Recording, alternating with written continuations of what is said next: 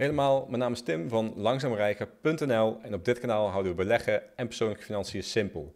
Vandaag gaan we het weer eens hebben over cryptocurrencies en waarom? Omdat crypto natuurlijk super populair zijn. Op dit moment gaan de altcoins echt als raketten naar de maan. Uh, er worden flinke rendementen gemaakt. Ik zie om me heen ook steeds meer mensen. Ik zie uh, uh, zelfs Po-nieuws en de Telegraaf het weer over bitcoin hebben. Ik hoor vrienden om me heen die drie jaar geleden zeiden dat bitcoin een scam is die nu uh, gaan altcoin traden en dergelijke.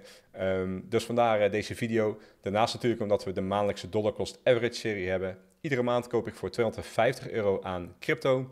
En uh, we gaan aan het eind van het jaar kijken ja, hoeveel het waard is geworden.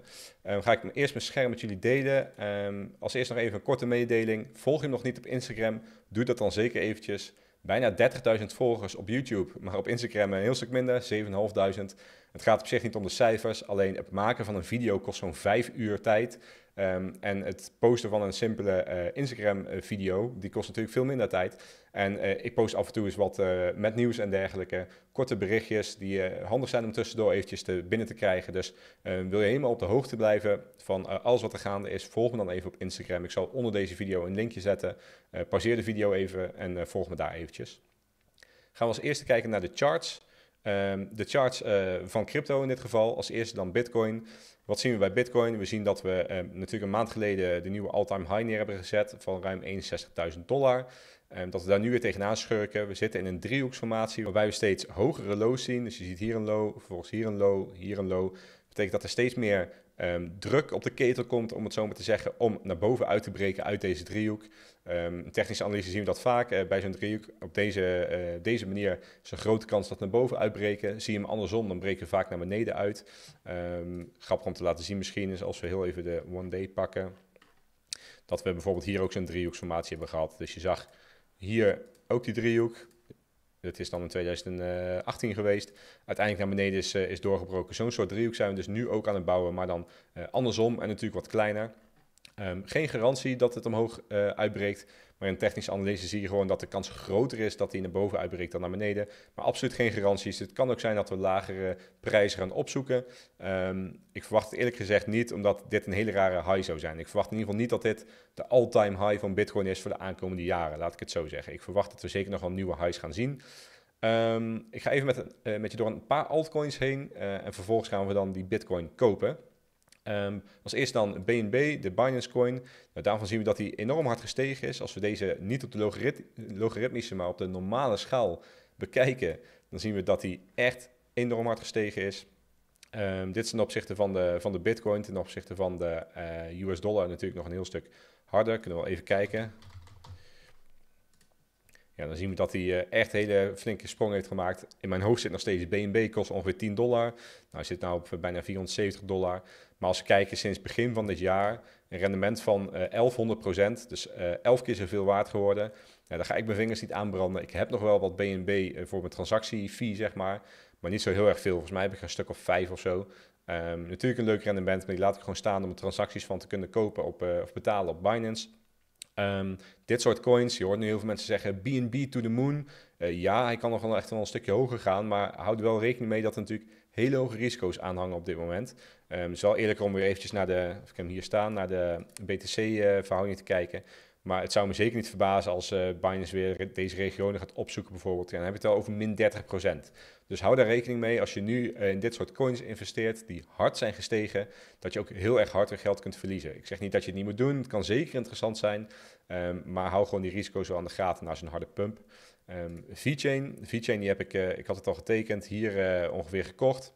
2018, 2019 met name. Um, daarvan zien we dat er nu die oude high weer opgezocht wordt. Ik heb zelf VeChain verkocht. Waarom? Ik geloof nog steeds in het project. Ik vind het een hele mooie, uh, hele mooie altcoin wat dat betreft. Uh, maar ik heb gewoon heel erg veel geld ook verloren met altcoins. En ik wil eigenlijk zoveel mogelijk van die altcoins af. Daar komt het op neer. Dus ik heb mijn VeChain verkocht. Um, ja, wie zal zeggen of het een domme zet is geweest? We weten het niet. Het kan best zijn dat hij nog uh, twee keer zo hoger wordt. Of misschien nog wel meer. Um, maar dat gaan we, gaan we zelf zien. Um, dan nog twee crypto's, twee altcoins die ik op dit moment wel heb. Uh, voor een, uh, gewoon een, trade om, voor de leuk, zeg maar, niet echt per se voor de hele lange termijn. Um, als eerste dan Chainlink. Chainlink is eigenlijk alleen maar gaan stijgen natuurlijk de afgelopen jaren, alleen maar meer waard geworden. We zitten nu hier ook in een soort van driehoeksformatie. We zien dat we hier wat resistance hebben gehad. Ik pak eventjes de tekentool erbij. Um, oh, zit hier. Hier hadden we resistance, hier hadden we resistance. Je ziet hier dat ook uh, wat resistance zat waar we uiteindelijk doorheen zijn gebroken. Je ziet bij deze low dat dit ook weer resistance is geweest. Ik verwacht dat dit support wordt en dat we vanuit hier misschien weer nieuwe highs kunnen aantikken. Um, ik heb daar een, uh, een stoploss op staan, dus ik heb hier gewoon gekocht. Uh, breed naar beneden uit, dan verkoop ik hem gewoon. Maar mijn target, mijn prijstarget, um, ja, zit toch echt hier rond zo'n ja, iets meer dan 100%. Rond deze koers zou ik hem weer willen verkopen. Um, ja, puur voor de leuk. Kleine positie. Echt niet uh, heel veel geld in zitten. Um, maar leuk om nog een beetje mee bezig te zijn. Dat zijn dus echt trades en geen lange termijn investeringen zoals bij aandelen. Belangrijk om uh, erbij te zeggen. Tot slot dan uh, Litecoin. Eigenlijk een beetje hetzelfde verhaal. in zoverre dat alle altcoins een beetje omhoog schieten, behalve Litecoin. Terwijl Litecoin nog steeds een mooie use case heeft, nog steeds in de top 10 staat. Um, eigenlijk alleen maar schandalen ten opzichte van uh, de Bitcoin dan. Als we kijken naar LTC USDT, dat is dan ten opzichte van de, um, de dollar, dan valt het mee. Dan hebben we zelfs bijna een nieuwe all-time high. Maar ten opzichte van de Bitcoin valt het nog wat tegen. We zien hier voorheen zeg maar support is geweest. Dan heb ik het al 2017, lang geleden. Um, hier ook weer support 2018. Dat werd hier resistance 2020. Nou, wat ik wil doen is deze trade tot ongeveer hier meepakken. Ja, ik heb hem hier gekocht, dus dat is denk ik 80%. Ja, rond de 80% uh, ehm, wil ik hem weer verkopen. Ook hier weer een stoploss staan. Die stoploss staat al ondertussen in, um, in, de, in de winst. Kan ik geen verlies meer op maken. Um, nogmaals, ook dit weer uh, echt korte termijn trades. Wel, ja, nou ja, ik zeg korte termijn, wel middellange termijn, wat we hier naar de one-day grafiek kijken. Dus het kan echt wel een maand duren voordat we hier, hier zijn. En langer ook nog wel. Um, maar het is niet, iets, niet een investering die ik jaren vasthoud, zoals ik bij veel andere altcoins wel heb gedaan, zoals bij bijvoorbeeld VeChain. Wat ik dan vervolgens zou willen doen, is uh, Bitcoin kopen met jullie. Het ding is alleen, ik heb dat net gedaan um, en ik wou de video gaan editen en ik kwam erachter dat de microfoon niet werkte. Dus ik ga jullie gewoon even laten zien hoe ik uh, Bitcoin gekocht heb. Um, en dan kijken we even naar de gemiddelde uh, aankoop en dergelijke. Voorheen werkte ik natuurlijk altijd samen met CoinMers. daar heb ik, ben ik vanaf gestapt, ben ik mee gestopt.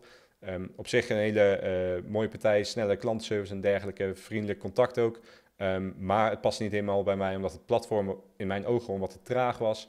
En um, ik de spread wat hoog vond, waardoor het uiteindelijk iets duurder is. Het valt allemaal wel mee. Hè? Je betaalt dan uh, een paar euro meer als je uh, zo 250 euro in, inlegt alle kleine beetjes helpen. Wat dat betreft wil ik alleen maar platformen laten zien die ik zelf ook gebruik. Ja, dus voor mij jammer, want uh, natuurlijk was het leuk dat ik daar uh, ook betaald voor kreeg. Hè? Dus die crypto die ik inlegde, kreeg ik betaald. Uh, had affiliate link, flinke affiliate vergoedingen. Maar nee, het past gewoon niet bij mij. Dus ik ben overgestapt naar, naar Bitfavo. Um, Bitfavo is een platform wat um, ook Nederlands is. volgens mij zelfs de grootste Nederlandse crypto broker. en met name gewoon heel erg goedkoop. Wat je zult zien is dat de transactiekosten iets hoger lijken, uh, maar er is uh, geen spread of een hele kleine spread. Dus dat betekent dat uh, als je koopt of verkoopt, je daar gewoon hetzelfde voor betaalt. Oftewel, die bitcoin is altijd hetzelfde waard. We zien hier bitcoin op het moment van kopen is die 50.016 euro en bij verkoop is die ook 50.016 euro. Daar zit dus geen spread op. Um, op het moment dat we voor 250 euro kopen, zien we wel transactiekosten van 33, 63 cent. Maar dat is nog steeds een heel stuk goedkoper. Ik zou dus willen laten zien hoe ik hier kan kopen, alleen mijn, uh, mijn uh, microfoon deed het niet. Wat ik heb gedaan, ik heb hier geklikt op te goed storten. Dan kies ik voor Ideal. Uh, kun je zonder kosten geld storten op, op jouw rekening. Dat goed komt binnen 30 seconden ongeveer hier op te staan. Um, dan gaan we naar Bitcoin. Dan geven we in dat we voor 250 euro een Bitcoin willen kopen. Dan kopen we voor 250 euro waar 63 cent transactiekosten vanaf gaan. Dus we kopen eigenlijk voor 249 euro en uh, 27 cent. 37 cent. Um, daar, daar verkopen we. En uh, ja, dat heb ik gedaan. Um, wat we namelijk even kunnen bekijken, als ik hier kijk naar de transacties. Dan zie je hier de laatste transactie van vandaag. Ik heb dit op zondag opgenomen. Um, dit is een uh, 20 minuutjes geleden. Um, heb ik uh, Bitcoin gekocht. Um, een aankoop van 250 euro, waarvan 62 cent transactiekosten. Daar hebben we 0,0049 Bitcoin voor gekregen. En de Bitcoin koers op dat moment was uh, eh, 50.234 euro. Nou, dat heb ik weer even in de spreadsheet ingevuld. Je ziet hem hier al staan.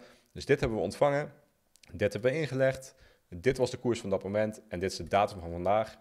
Wat we dan zien is dat we in totaal uh, 1090 euro, sorry, 1000 euro en 90 cent ehm, hebben betaald voor onze bitcoin en transactiekosten en dergelijke. En als we hier kijken, dan zien we dat we op dit moment een kleine 1400 euro hebben. Ik heb dus gewoon mijn bitcoin van Coinmerce naar Bitfavo overgemaakt.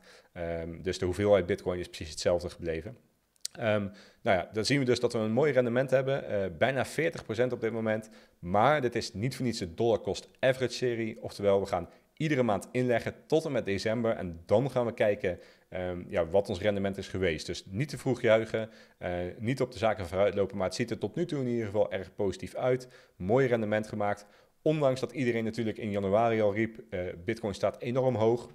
Toen stonden we op een 28.000 uh, euro. Dat is denk ik 35.000 dollar. Ja, daar, zijn de mensen al, je bent gek als je nu nog bitcoin koopt en toch een uh, rendement van 40%. Maar door dat dollar cost average, dus iedere maand hetzelfde bedrag inleggen, pak je gewoon het gemiddelde bedrag over het hele jaar. Dat is hetgene wat ik wil laten zien. Heb je nog geen account bij Bitfavo en heb je daar wel interesse in, snel platform, Nederlands platform en hele lage kosten, dan kun je overwegen om het linkje onder deze video te gebruiken. Het is een affiliate link. Dan krijg je een kleine vergoeding als jij uh, uh, iets, uh, iets koopt, als jij bitcoin koopt. Maar het kost jou verder niets. Dus dankjewel als je dat zou willen doen. Het hoeft natuurlijk niet. gebruik een andere broker, dan kan dat natuurlijk ook, ook gewoon. Maar ik vind Bitfavo erg prettig, prettig werken. Um, ik hoop dat deze video duidelijk is. Als er nog vragen zijn, stel ze even in de comments. Ik krijg heel vaak de vraag binnen van hoe zit het precies met die ledger. Een ledger kun je gebruiken. Ik heb hem hier zelfs liggen. Ik zal hem even pakken. Uh, gebruiken om jouw uh, cryptocurrencies op op te slaan. Ik weet niet of je scherp stelt op deze manier. Ja. Uh, daar kun je cryptocurrencies op opslaan. Daar krijg ik veel vragen over. Dus dat zal ik um, in, de toekomst even een video over maken. Ik moet heel even kijken wanneer. Maar één deze dagen zal ik daar een video over, over maken. Normaal gesproken um, stort ik mijn geld op die ledger. maar omdat we nu met die dollar cost average serie bezig zijn, wil ik jullie graag laten zien um, ja, wat het doet zeg maar, over de lange termijn. Dus in dit geval laat ik het gewoon op de exchange staan. Maar normaal gesproken een dergelijk bedrag maak ik wel over naar mijn ledger. Um, dus daarover in de toekomst meer. Vond je de video interessant? Geef even een duimpje omhoog, vraag in de comments en dan hoop ik je terug te zien bij een volgende video. Tot dan.